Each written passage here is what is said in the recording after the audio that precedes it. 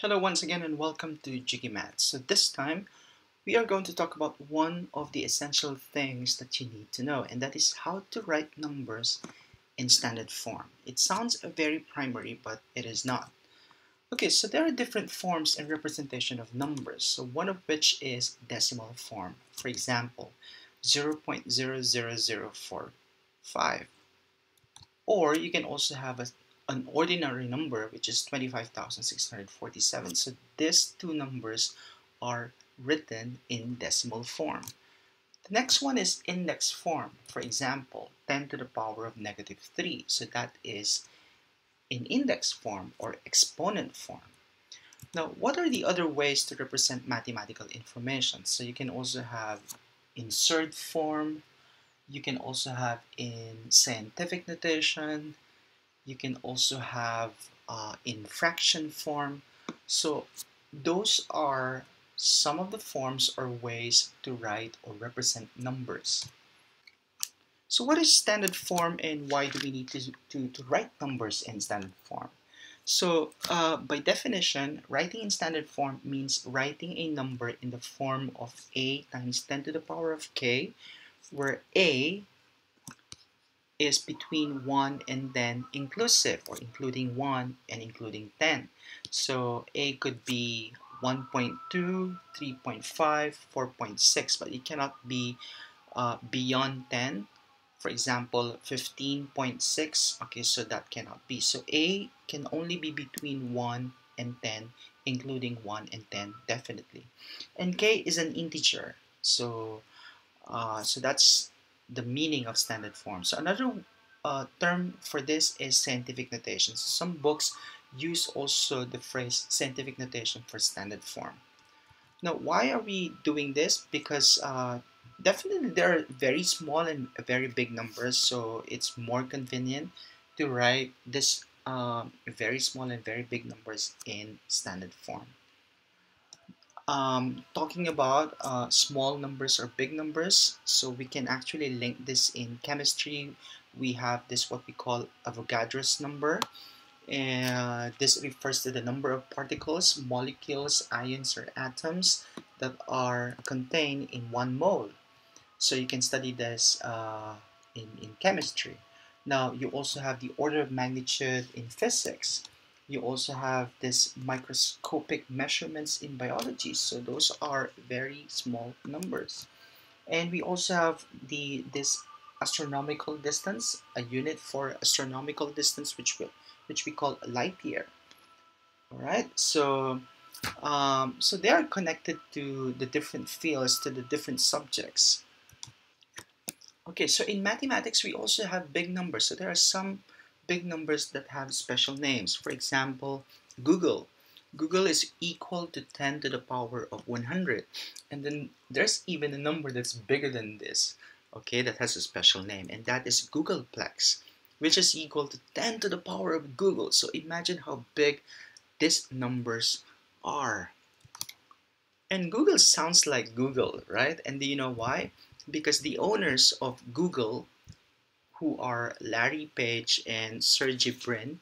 So there was one day wherein they were searching for the name of their uh, search engine. So you know if you're coming up with a website, you're looking for a name, a domain that is uh, available. And one of them mistyped googol as Google. And they found it available, so they use it eventually.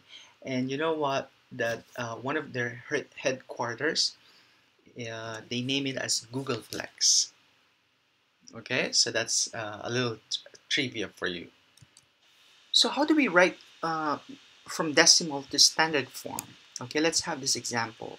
First one is 0 0.000000831. Okay, so this is a small number. So you start from the original position of the decimal point and then you go uh, from left to right in such a way that you stop at something wherein it's going to be between 1 and 10. So imagine if we're going to stop here, it uh, it's going to be 8.31. So let's uh, move now to decimal point. So let's count 1, 2, 3, 4, 5, 6, 7, and 8. Okay, so there are 8 places. So that means our uh, standard form is going to be 8.31 times 10 to the negative 8. Alright, definitely you can stop here, but that's going to be 83.1. And then 83.1 is not in between 1 and 10. So that is not in standard form. Let's have uh, number 2. Okay, so this one is uh, a big number.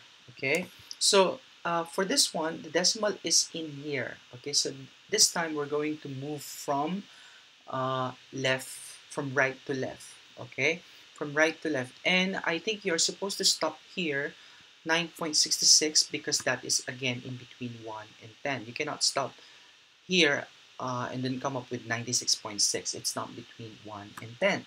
Okay, so let's count again. 1, 2, 3, 4, 5, 6, 7, 8. Okay, so you will have, have a number in standard form which is 9.66 times 10 to the power of 8. Alright, so that's the way for us to write the uh, decimal number to standard form. Okay, now let's do it backwards. So this time, the given is standard form and then you write it in decimal form. So 1.19 times 10 to the negative 6. So the power negative 6 is telling us that this is a small number. Okay, so all you need to do is uh, from this decimal point now, you count six places to the left. Okay, so this is uh, this is going to be the decimal form. So uh, the given, the decimal point is here in between 1 and 1. So you count 6 places to the left. So that is 1, 2, 3, 4, 5, 6. Now you have the decimal point. Now let's go to the next example. 7.35 times 10 to the power of 8. So 8 is a positive power. So that means you will have a, uh, a big number. Okay. So 7.35, this is your decimal point. This time you're going to move 8 places to the right. Okay. So this is the decimal point. Let's check. 1, 2, 3, 4, 5, 6, 7, and 8. So this is our decimal representation of this standard form. Okay, now let's move to the operations. Now let's begin with multiplication because this is more easy than addition and subtraction. Okay, so let's have this example. So you have two numbers in standard form. How do we multiply them? How do we multiply them? So the first thing to do is you multiply the first numbers. The first numbers that we're talking to are 7.06 and 6.55. So let's multiply them as normal, as usual. Okay? And then, what are we going to do with the powers of 10? 10 to the negative 5 and 10 to the negative 5. We just simply apply the laws of exponents uh, to the powers of 10. So 10 to the negative 5 times 10 to the negative 5 so we apply the product rule and we are going to have 10 to the power of negative 5 plus negative 5 and we're going to have 10 to the power of negative 10. The product of the first two numbers is 46.243. Now, if you take a look at this number, it is not yet or it is not in standard form. So the last step is you have to write the answer now in standard form. So for this to be standard form, this decimal point must in must be in between 4 and 6. Alright? So since you are moving to the right, moving to the right, so that means you are going to add 1 to 10 to the negative 10. So that means you will now have 4.6243 times 10 to the power of negative 9. Again, if you move to the right, that is um, plus 1 to the index.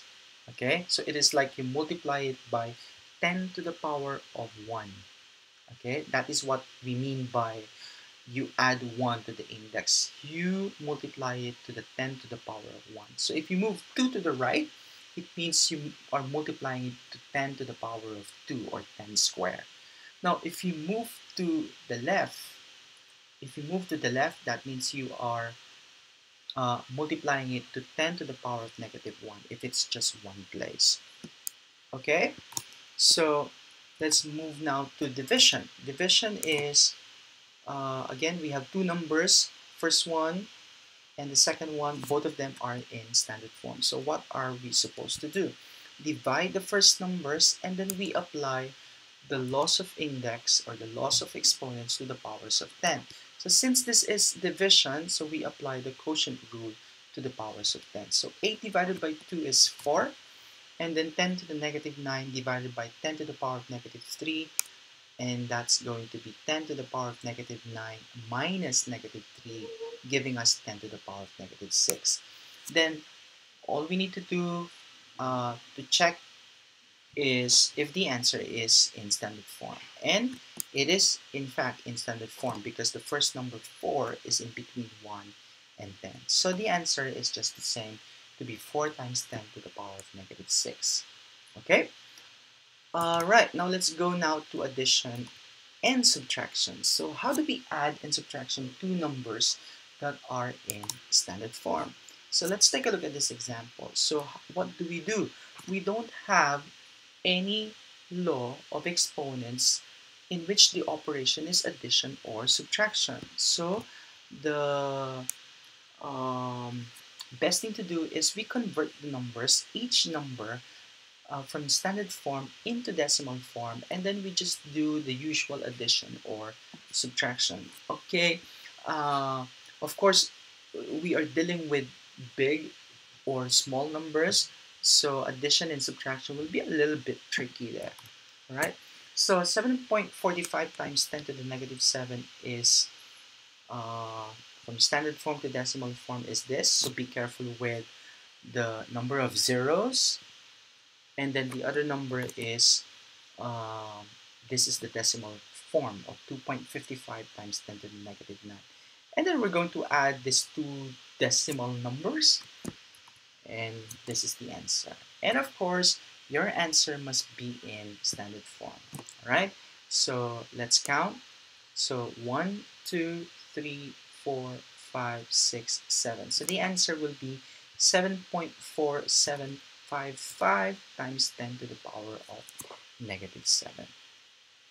All right, now just as uh, just a reminder, so calculator or computer notation is not acceptable. Definitely you can use calculator for, let's say for paper two or exam papers that uh, require you or that you have access to calculators. So you can do that, but the thing is in uh, the scientific calculators, in the graphic display calculator, if you're dealing with very big or small numbers, you might see in your display this kind of notation. This is referring to the exponent of 10. So let's say 5.2 times 10 to the power of 30.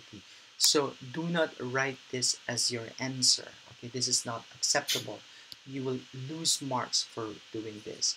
So it should be 5.2 times 10 to the power of 30. So um, again, you can use calculator, but don't forget to write your answer in this form, which is the appropriate way to write it in standard